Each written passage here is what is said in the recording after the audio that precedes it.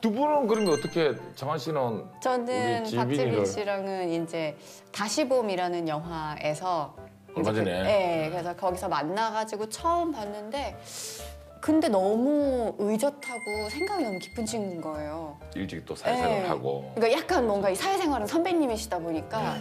이게 뭔가 나이는 되게 어린데 친구가 돼가지고 그냥 그때부터 현장에서 얘기 굉장히 많이 하고 음. 아 기본적으로 수다를 좋아하는구나 지빈이가 전 대화하는 거 좋아해요. 아, 그래 인상에 배려 수다가 있네 배려와 수다 어, 어, 되게 정확히 눈에 딱 배려가 네. 있다 상대방 매너도 너무 좋고 어. 딱그 여사친 많은 이유가 있더라고요.